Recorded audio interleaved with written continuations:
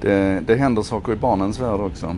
Um, inte nog med att det utvecklas fantastiska mobilspel som Toka Boca och otroliga lärresurser som jag önskar att jag hade haft när jag var liten. Eh, det sker saker på hårdvaruområdet också. Eh, ni vet, Mekano har fått sällskap av eh, 3D-skrivare. Viewfinder, den här vi tittade i och så snurrade vi in på en liten pappskiva med bilder så vi fick lite 3D-effekt. Det är ju naturligtvis VR-glasögon idag. Eh, det finns eh, dockhus som är som smarta hem och Etch Sketch ska vi inte bara prata om vilken, vilken utveckling som den har gått igenom. Men det är också saker som inte händer. Ehm, Mattel, det 50-åriga gamla leksaksföretaget, hade planer på en produkt som heter Aristotle. Det var en, vi kan kalla det för en Alexa eller en Google Home som skulle stå i barnens rum och lyssna på barnen och lära sig hur de fungerade och deras behov så att när barnen var små så kunde den tända nattlampan när det var lite oroligt och när barnen blir större skulle den kunna hjälpa till att göra läxan. Nu blir det inte så. Igår berättade Mattel, eller i natt berättade Mattel att det blir ingenting med den produkten för att det var ett sånt vasst motstånd ifrån föräldragrupper.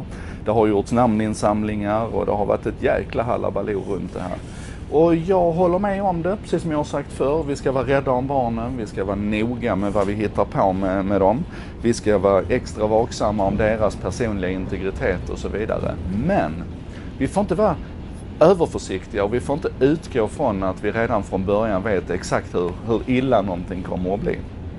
Um, jag hade nog föredragit om, om den här produkten hade fått nå marknaden och, och föräldrar som ville hade kunnat läsa på om avtalen och tydligt se liksom vilken kontroll man har över det och sen testa det så att vi kunde liksom utvärdera och bli klokare och se vad, vad tycker barnen om det. Så. Och det finns en tydlig parallell till äldrevården, äldreomsorgen.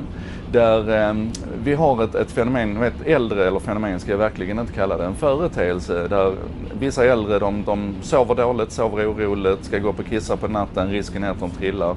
Och då har man en slags nattvaka som man kommer med regelbundenhet och så kliver man in i sovrummet och tittar och ser att Stina eller Sune sover gott och sådär. Och, och det är ju bra, trygghet. Men nu för en tid sedan så började man då tänka på och experimentera med att man hade en nattkamera som tittade istället. Så istället för att någon kliver in i rummet så har man en nattkamera riktad mot sängen och det var ett otroligt motstånd mot de här nattkamerorna. Eh, de kallades för övervakningskameror, bevakningskameror, det gör de fortfarande. Till exempel igår i Rapport så var det ett inslag från Övertorneå om de här kamerorna. Ett jättebra reportage för övrigt. Men anyway, nattkameror. Och det var ett jäkla motstånd från professionen. Man var helt övertygad om att det här var liksom början på slutet. Personlig integritet, patientsekretess, allting skulle bara flyga ut genom fönstret. Men man valde ändå att testa det och det visade sig att de äldre de älskar det ju. Och det är ju ganska naturligt. Istället för att det rasslar i dörren mitt i natten och, och du känner att någon står och tittar på dig så har du den här fullständigt unintrusive kameran som en halv minut åt gången tänds upp liksom, inte så, att den lyser men man väcker den och så tittar den och ser att nej men allting är lugnt, allting är fint och sen så slår man av kameran igen.